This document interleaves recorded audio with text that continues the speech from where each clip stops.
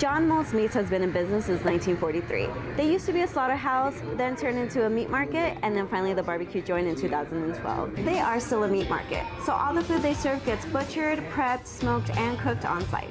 This place serves your food cafeteria style with outdoor seating, so make sure you check the weather and dress accordingly if you choose to eat on site. For this two-meat combo, I went with the pulled pork and tri-tip. Tri-tip is only served on Tuesdays and Thursdays, so if you can, try to come on those days. This tri-tip is very tender and flavorful, almost like butter. They slice it up and add seasoning, and that gives it way more flavor. And this pulled pork is so nice and sweet. It kind of had more of a zesty and tangy taste to it. It was really moist and just shredded perfectly.